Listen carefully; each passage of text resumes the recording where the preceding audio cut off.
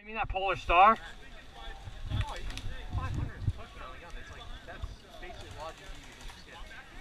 Yeah, heck, look what he did to my wrist.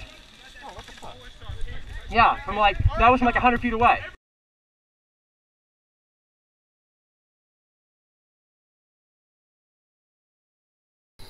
Hey Airsofters, welcome to another episode of Airsoft Mandalorian. We are playing at OSG Paintball New Durham, New Hampshire today. Um, this video is kind of an exclusive video. It isn't much of a gameplay video. Now wait just a second before you either pause it, X this tab, or click on something else. Just hear me out for a second.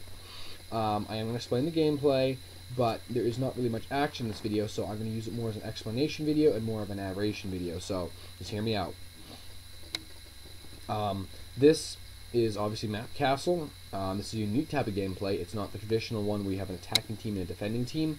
Um, obviously, you have two teams, but instead, the mission is that both teams start outside Castle at two different respawn points, and inside Castle, they have a construction cone in the middle of the castle with two flags. And obviously, you guys can guess it from there. Each flag is a team's flag, and you're trying to get your flag in there. And whichever team has their color flag in that cone at the end of 25 minutes is the winner. So, this video picks up probably about 5 minutes to 10 minutes after uh, the, the game started. My battery died on my AK-47, so I went out to the dead zone, got another battery, came back in, but my gearbox jammed up, and also my 1911 pistol hop-up broke on it, and my 1911 uh, uh, gather my other 1911, it, the gas ran out, out of the magazine, and I wasn't able to refill it. You know, this is before I had all my gear. So this is several years ago. But um, I'm using this video, like I said, more as an explanation video. Uh, if you guys have been keeping up to date with my videos uh, about Operation Honor, uh, actually, actually kind of funny. It's irony because uh, this day there were two players that were very, very unhonorable, and this is what this video is about. Uh, there were two players there that day who were Polar Star HPA tank players, and they were probably the worst uh, sports of um, honesty, overshooting, bonus balling, and attitudes I have probably ever seen in airsoft. These two players were the first ones responsible for me uh, poisoning me, uh, my attitude, if you will, against anyone who runs a Polar Star. Um, these two guys had their guns at about 800 FPS and almost all the time on fully automatic.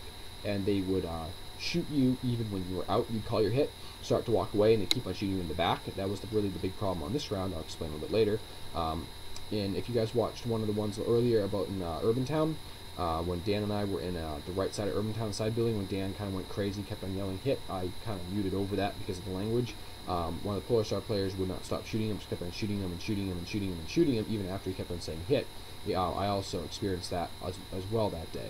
Now, there were two of them. I don't know if they were friends or they just met there and they kind of connected just because they were both HPA tank people. But um, all I know is they were horrible sports, horrible cheaters. You, would shoot them, even like right in the face mask. You'd see them like get hit, kind of jerk, look right at you, and then just keep right on shooting you. And even after you would honestly call your hit, start to walk away, they just keep on pummeling you.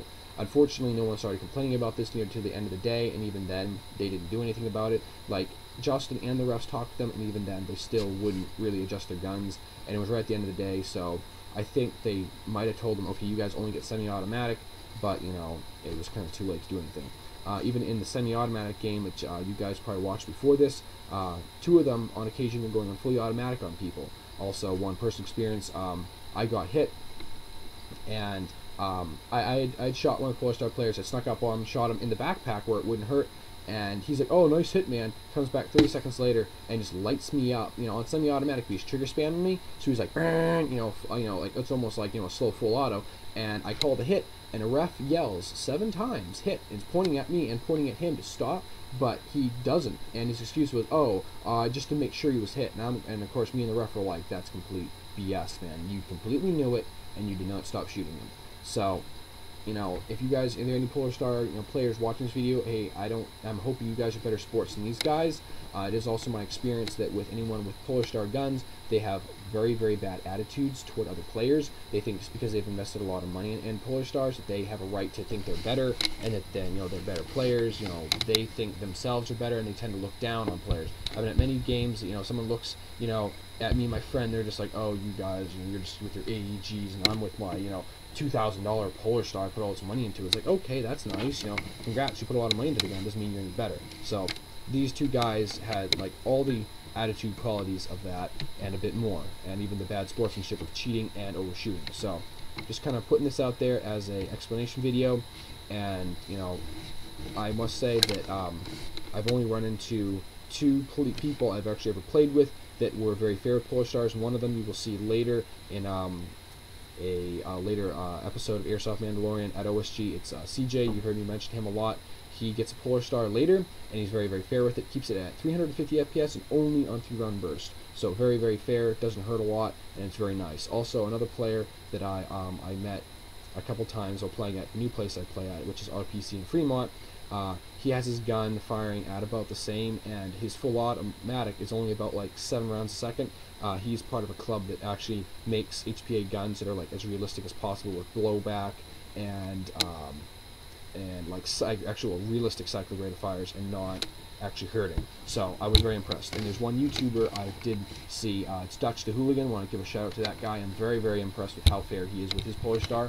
Uh, he almost never goes on fully automatic. I've only seen him once go on full auto with that thing, and it's not as fast. It's only about as half as fast as my AEG. So I'm very impressed. If you're ever watching this Dutch, you know, I'll give you a give you a thumbs up. You know, really good man. You definitely uh, make me feel a lot better about Polar Star players. But you know, this is you know I've met a lot of them, and like I said, I've only met two that I've actually you know didn't have an attitude and actually were fair. So you know, hopefully not you know being too rude about this, but just what I thought I'd give you an explanation because I dropped a lot of hints that I would be making a video about this in uh, earlier episodes of this day. So that's all for now. Thanks for watching. I hope you guys, you know, kind of, you know, felt my position, weren't just like, oh, he's just, you know, raving. Because, you know, this was not just me. My entire team later this game, including myself, quit this match because everyone was just tired of having you know the, the, crap beat out of them. You know, come up to the wall, get the snot shot out of you. Even when you're walking away, just you know keep on getting raked at the back. Everyone's just like, yeah, we're done. And I quit. I mean, my friends quit. Uh, even Eric quit, and he's like one of the die, most diehard players I've ever met. So, you know, the refs just called the games. Everyone just quit because everyone's like, yeah, we're not playing like this. Because we're tired of getting shot. So. You know, just want to throw it out there. It wasn't just me. My entire team was hating these players, and a lot of people said, you know, if you refs don't talk to them, someone's going to beat the living heck out of these guys. So, throwing out there. Hope you guys have a good one. Hope you guys, you know, any of you, any of you Polar Star players out there who watch this, please just remember that your guns can shoot much harder than uh, AGs. Just remember what it would feel like to be shot with your gun if you guys are running hot. Just remember that. It's no fun, you know. People like that, they ruin airsoft. No one wants to play. So, hope you guys enjoyed this. Thanks for watching the episode of Airsoft Mandalorian. Please stay tuned for the next match. The next um, uh, operation is uh, Operation Independence, so please stay tuned for that. Thanks for watching an episode of Airsoft Mandalorian. Please subscribe, like, and leave your comments below. Until next time, don't forget, get out there and play.